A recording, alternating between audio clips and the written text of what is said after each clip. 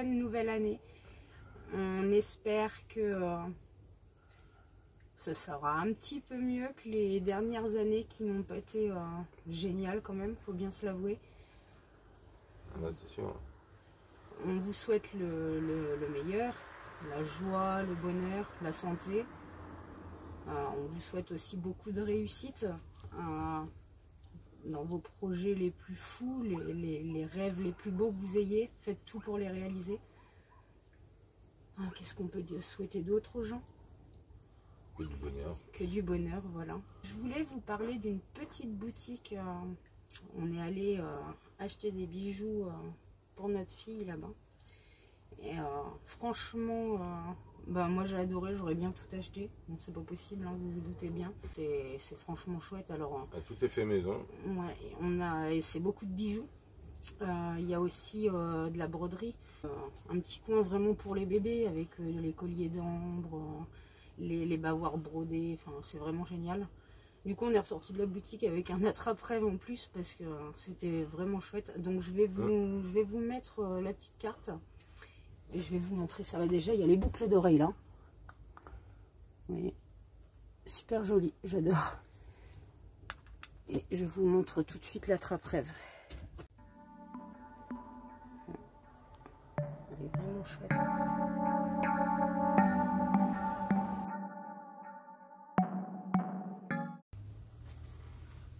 Donc euh, cette petite boutique, elle se trouve à Ernée, en Mayenne. Euh, alors elle n'est pas évidente à trouver par contre. Ouais, elle est un peu cachée euh, voilà, il y a un virage. Nous, c'est vrai qu'on a été obligé de demander à une dame parce qu'on n'arrivait pas à trouver. Le GPS nous indiquait qu'on était arrivé, mais on voyait pas. Donc peut-être, ouais, euh, dommage, c'est pas très bien. euh, enfin, c'est pas voyant quoi.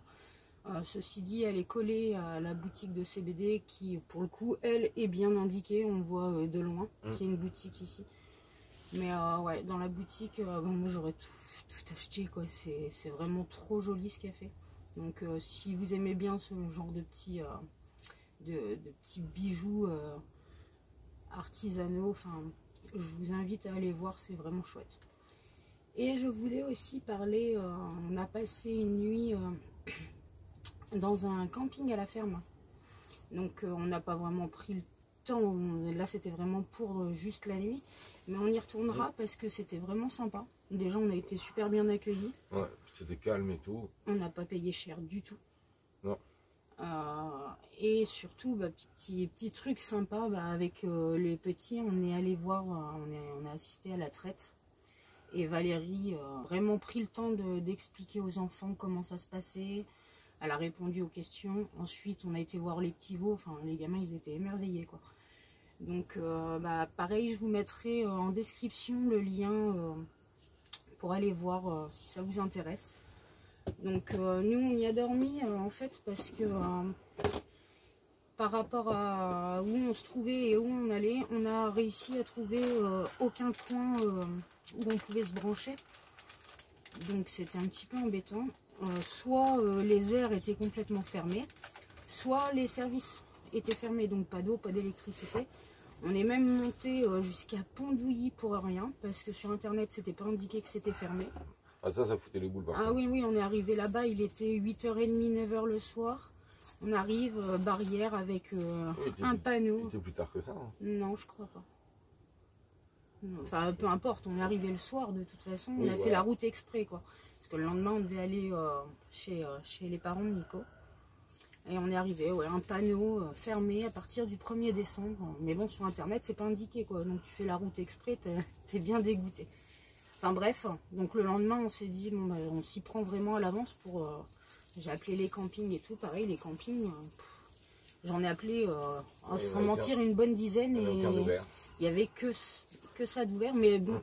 c'est un mal pour un bien parce que du coup, euh, on a découvert un petit coin sympa. Et euh, c'est ce que je dis, je pense que euh, en, en beau temps, là, un moment où on aurait vraiment le temps d'en profiter, je pense qu'on y retournera avec les petits pour euh, justement vraiment prendre le temps là-bas. Ouais, oui. Enfin bref, j'ai pas grand chose d'autre à rajouter. On reprend le boulot demain. Ah si, quand même, il fallait qu'on en parle. On n'a pas arrêté de se répéter avec Nico avant de déposer les enfants dans, les- dans la famille que euh, ça faisait euh, ça faisait plus de 20 ans qu'on ne s'était pas retrouvés comme ça seul et surtout sur la durée, un mois c'est énorme quoi. Que ça allait sans doute, euh, donc on le fait pour les enfants, pour pas que ce soit trop long le temps, pour pas qu'ils s'ennuient. Mais on s'est dit, nous aussi en fait, on va pouvoir profiter d'être un petit peu en amoureux quoi. C'est, ça va être un moment pour nous, donc on, était plutôt contents. Et puis euh, en fin de compte, euh, ça fait trois jours qu'ils sont plus avec nous. Ouais. Et euh, vous savez la sensation d'oublier quelque chose quand on part. Bah moi je ressens ça, mais bah fois fois 10, fois 100, j'en sais rien. C'est ça me fait trop bizarre en fait, ça fait un vide. Il n'y a pas de bruit, ça me déstabilise. Mm. Ouais, mais bon, maintenant, là, ce qu'il faut se dire, c'est qu'au moins, bah, nous, il nous reste encore un mois de boulot sur ce mois-là, et au moins, ils vont pas s'ennuyer, ils vont pas. C'est sûr. Parce que bon, pour eux, ça, commence à être long. Donc, c'est vrai que nous, on a pris la décision de dire oui au patron pour faire un mois de plus, Mais on voulait pas mais imposer on voulait pas imposer aux enfants. Bah, Donc, euh, tout le temps qu'il a fait plutôt bon, ça allait en fait. Les enfants ils sortaient comme ils Mm. voulaient, ils nous rejoignaient dans le champ. Le week-end on faisait des balades et tout, mais c'est vrai que Bah là, euh, depuis mi-décembre on peut plus faire grand chose quoi. Les enfants ils, ils- ils commençaient à en avoir marre, c'est normal. hein. ça commence à être long pour eux. Mais bon, du coup euh, je sais pas si euh, ça va vraiment être bénéfique de se retrouver tout seul parce que euh, comment on appelle ça le syndrome euh, du nid vide, c'est ça? Je crois que c'est ce que je suis en train de vivre. Ça se trouve, vous allez nous retrouver dans trois semaines en dépression totale. Bref. Bon, allez, je vous fais des bisous et encore une fois, euh, nos meilleurs voeux pour cette nouvelle année qui commence.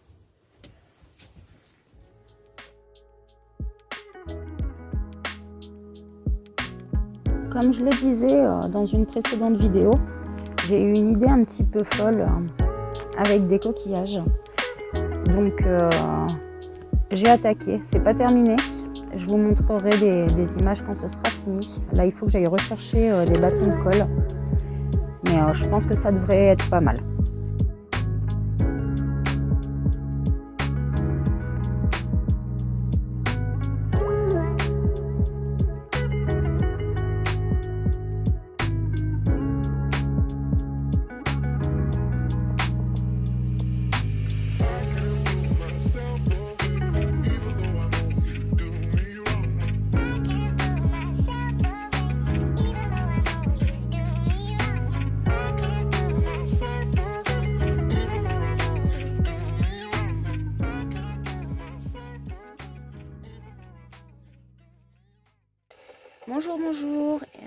Ce matin, c'est la merdouille.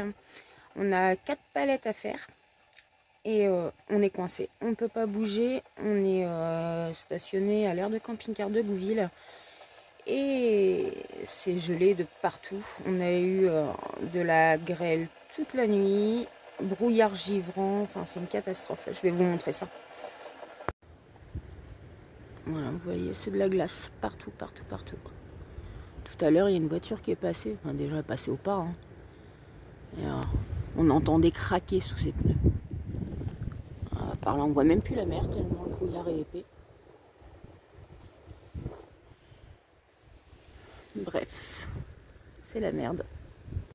Voilà ce que je disais. C'est une catastrophe. Ça glisse, un truc de malade. Et la route a pas l'air mieux. hein.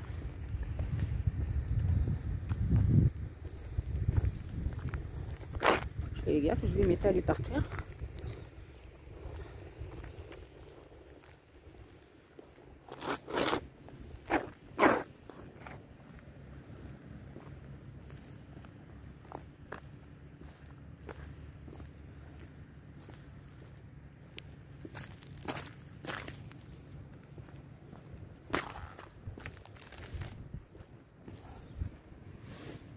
J'ai pas trop l'impression d'être dans la Manche. Allez, je voulais voyager. J'espérais un peu plus le soleil en fait. hein. C'est mort, c'est une cata. même pour rester debout, c'est compliqué. Ouais, bah même sur la route.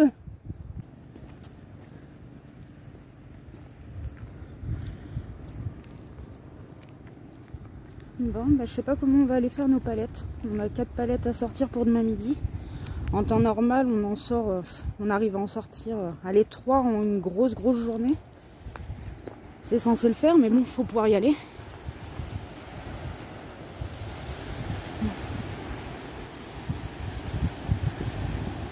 Même le sable est gelé.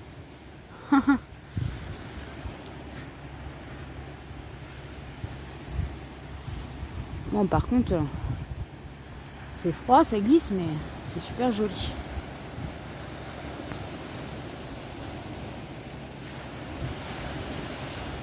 C'est très très beau.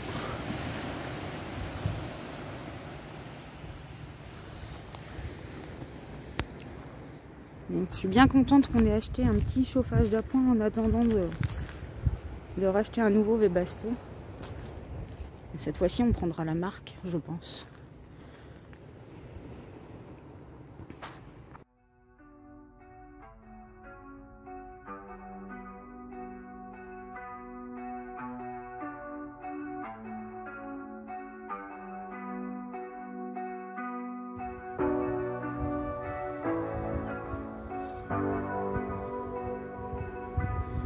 La neige d'un côté, la mer de l'autre.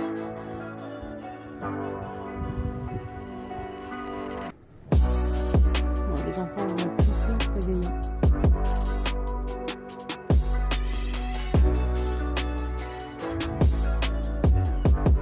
Bon, il est 11h, donc euh, là on décolle. Mais c'est toujours une patinoire sur la route. Ah, qu'est-ce qu'il faut pas faire pour aller ramasser des carottes,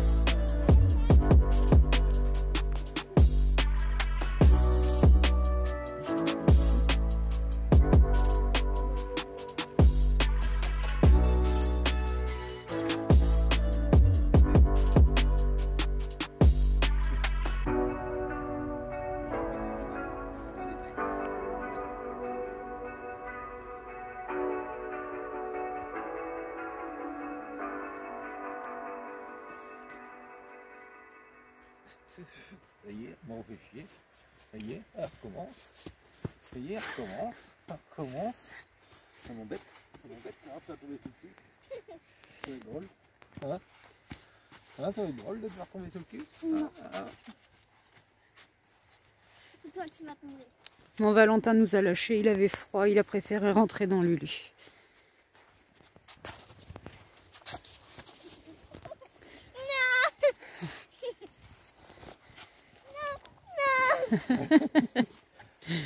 La pauvre.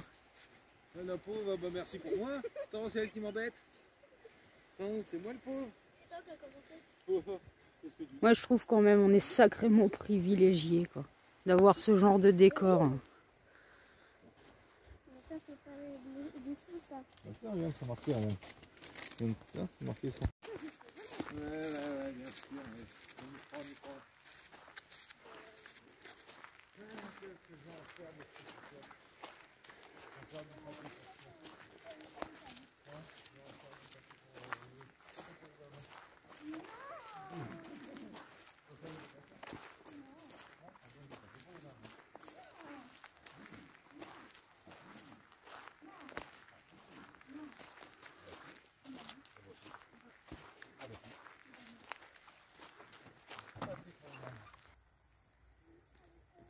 Je me lasserai pas de cette vue. C'est vraiment sublime.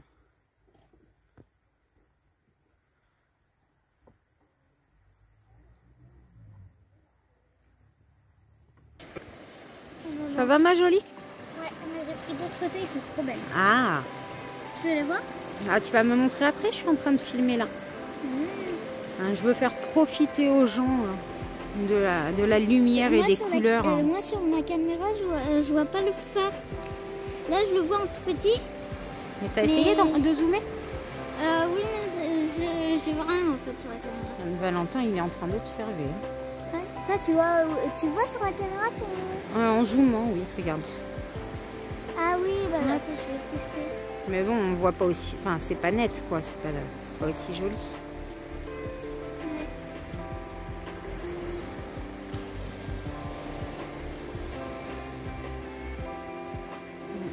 Les lumières, c'est juste sublime.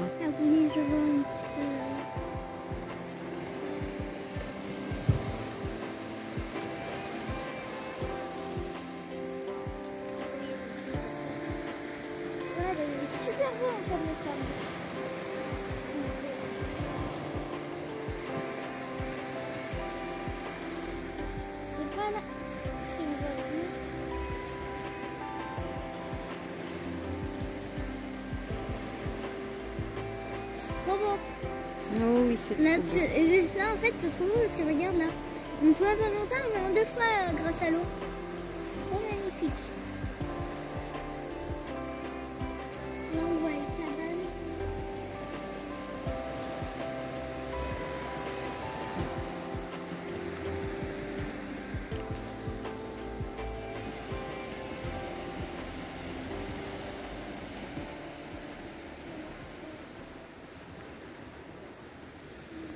Salut tout le monde. Je sais pas si vous entendez, mais ça souffle beaucoup. Et Elle a euh, peur oui, j'ai peur. J'avoue, euh, depuis la tempête de 99, j'ai une trouille bleue du vent. Dès que ça souffle un petit peu, je suis en panique. Là, je vous avoue que je suis au bord de la crise cardiaque dès qu'il y a une rafale. Je me crispe de partout. Bref, oui, donc la tempête de 99, en fait, petite anecdote là-dessus. C'était juste après les fêtes de Noël. Et euh, on était gamine avec ma frangine et ma petite tante. On, a, on avait envie de dormir dans la caravane. Donc du coup, euh, bah, ça soufflait beaucoup, quoi. Donc euh, ça m'a traumatisé. Bah,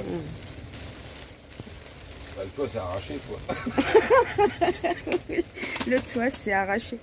Non, alors il y a la fenêtre qui s'est arrachée, le toit il s'est plutôt enroulé, tu sais, façon boîte de conserve. Bon bref, je vais garder des séquelles de cet épisode. Ce qui est marrant, c'est que vous étiez trois dans la caravane, une boîte de conserve, souvent t'as trois sardines dedans. C'est vraiment idiot. Bon bref, là du coup je suis en panique. Et euh, le pire c'est que c'est que le début, ils annoncent ça tout le week-end. Et euh, tout de suite je disais à Nico, mais qu'est-ce que je suis conne quoi. Je sais que j'ai peur du vent, je vais vivre en camping-car, mais faut être complètement fêlé quoi. bon bref, je vous dis à plus tard. Voilà, voilà, c'est la fin de cette vidéo. On espère qu'elle vous a plu. Si c'est le cas, pensez à mettre un petit pouce, ça fait toujours plaisir. N'hésitez pas à commenter, on sera une joie de vous répondre. Et puis, bah, abonnez-vous si, si le cœur vous en dit, si, euh, si vous avez envie de continuer à nous suivre. Encore une fois, on vous souhaite une très belle nouvelle année et on vous dit à très bientôt.